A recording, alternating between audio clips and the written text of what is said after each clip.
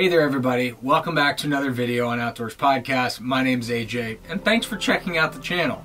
If this is your first time here and you like the video, consider giving it a thumbs up. And if you want to see more videos like this, along with other videos like camping, backpacking, fly fishing, and adventuring on the RV, hit that subscribe button. It really helps out the channel. It doesn't cost you anything. So, as I promised earlier on in the year, I'm going to be showing you more of the upgrades and the work that we do to our 1993 Fleetwood Bounder Doris the Slow Loris as we continually make little improvements over the course of this two or three year long renovation project we've been on. So one of the newest things that I wanted to show you that we're going to be installing, I've already done this on a couple of other cabinets in the bus, but kind of back further towards the back, and I'll kind of show you that.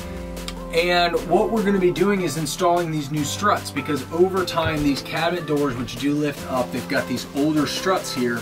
Those are just basically giving way. They're not holding the cabinets up anymore. So if you're trying to get to something, you're at the risk of it closing on your hand or on your head, which has happened to me on more than one occasion. And it's just not really either A, convenient, or B, frankly, safe. So I'm going to be removing these old cabinet struts. I'm going to be installing these new ones from Amazon that I got. I'll have the link down in the description. And then I also got a different bracket than what comes with these, which I think mounts on the side a little bit better. You get better contact, more screws in the wood, and it just really, really works better. I'll show you that once those arrive later today towards the end of this video when we finish the build. But for now, I'm just gonna go ahead and remove a couple of these struts on the most problematic cabinets around. Uh, these are not not very inexpensive. Uh, it's to cost me about a hundred dollars to do eight cabinets, so they're a little over ten dollars a cabinet. But over the long haul of our bus, this is gonna make a huge improvement in the day-to-day -day functioning, so that 100 bucks is gonna be worth it. I just really need to choose which cabinets are the most worth it for right now, and then I'll make further investments down the road when it makes sense.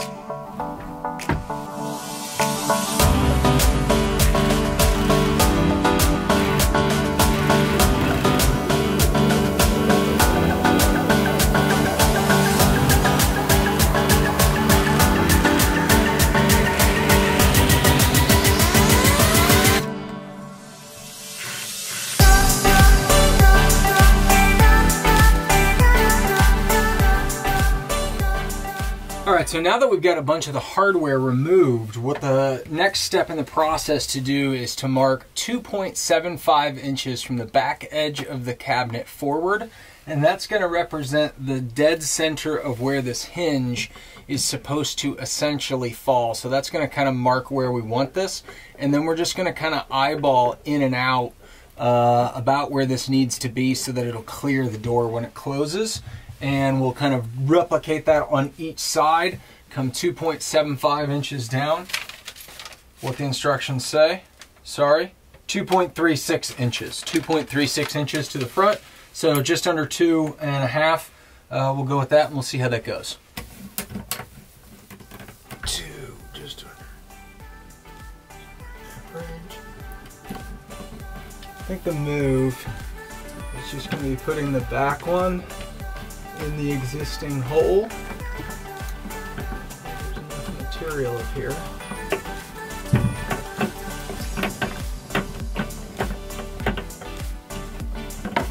Alright, so I found out that a much easier technique is rather than try to mount this with this thing installed, uh, these did not come attached like this, but basically what I'm doing is just taking the little brackets back out of the actual struts and just mounting the bracket itself and then I'll attach the struts later. It's just a lot easier to deal with with only having to have this part in your hand.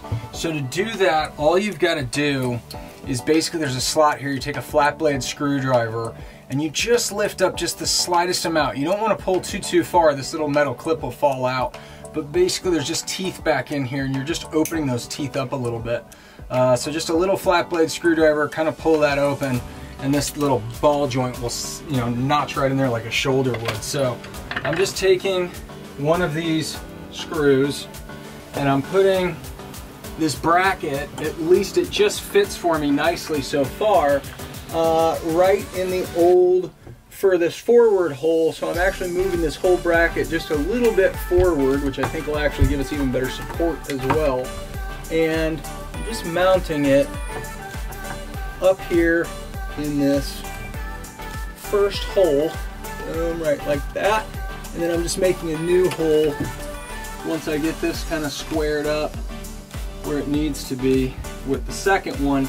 And I'm not having to pre-drill. These cabinets are soft enough that it doesn't seem like it's gonna split or anything like that. It would normally be smart to just give yourself a little pilot hole, but this wood seems like it's soft enough that it's not gonna create any problems for me. Uh, you know, just kind of follow what you feel is best for you. That looks like it's clearing nicely. So like I said, I'm just using this.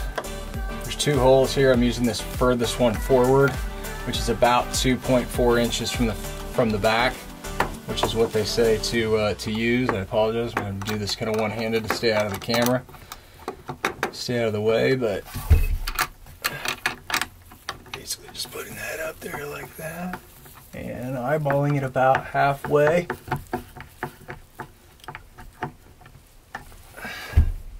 Try to get that straight. Sorry if I got in the way of the camera there. And then I'm taking my screwdriver and I'm just doing this by hand. Obviously, I'm just kind of judging that, pushing it in, and then just using the screw to get it up in there. All right, and then I'll just come through and add these struts. Put this in, boom, on there, and that'll get mounted somewhere like right there. All right, I'm gonna go ahead and knock out the rest of these and uh, just get them done real quick. And that way when the brackets arrive, I can knock those on and bam, we'll be off and running. So here we go. All right, well, our clips or the brackets that hold the struts to the actual cabinet itself, uh, the spot right here in these cabinets is what we're gonna be essentially replacing today. This is what comes with the struts. This is what I'm gonna be using. So you can see the difference in how much surface contact you've got.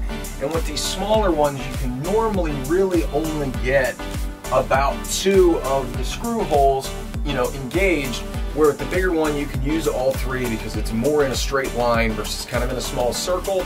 And then also the difference between the bolts that are used, you can kind of see, or the screws, the difference in just the width and the length and all kind of just the meatiness of the screws. This bigger one's gonna have just much, much more contact and give us a lot more strength for the struts and these doors moving up and down because we open these doors lots of time every day. So let me go ahead and show you how we get these installed and I'll finish up the rest of the cabinets. All right, so for me, the first step is essentially attaching one of the clips to one of the struts and making sure that it's facing obviously the right direction. So I just kind of tend to balance the, uh, the door on my head.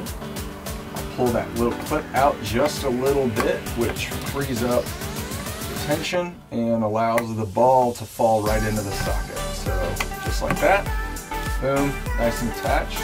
And these are essentially gonna go right there.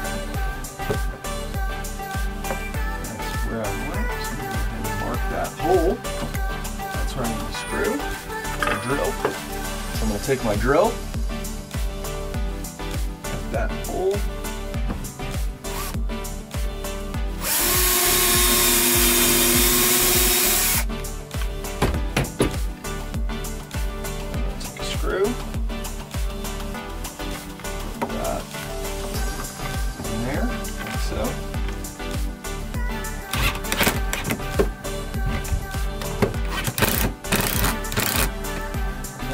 Before I really put that down in there, I want to make sure that that's nice and flush and flat. Screw that in. A little bit of a split there. Gotta be careful. Okay, so I'm gonna bring that out. And then we're gonna do two more holes.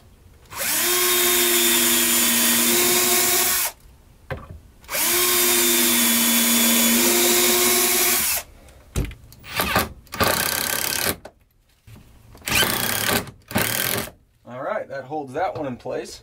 And I'm gonna do the same thing on the other side.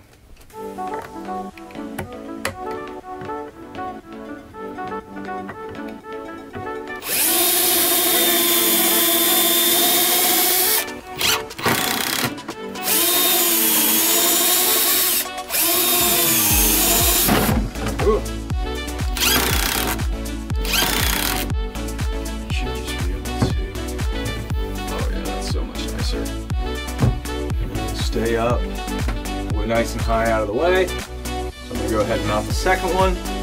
We'll have our project done.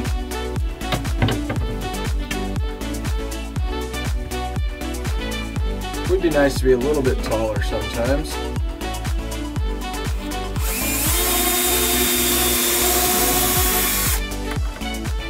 Also, a big shout out to my dad, the incomparable J Dub Eads, and my mom for that they got for us when they found out about our RV and the renovation project was these really nice Bosch hand tools. Or power tools, I should say. This drill and this impact driver have been super handy for these projects. They fit in the hand great, they're small but powerful, and I've used them on a ton of projects. So, thanks mom and dad.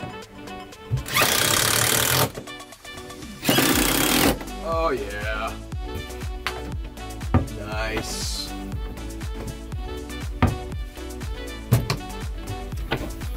Oh, so nice. Lovely.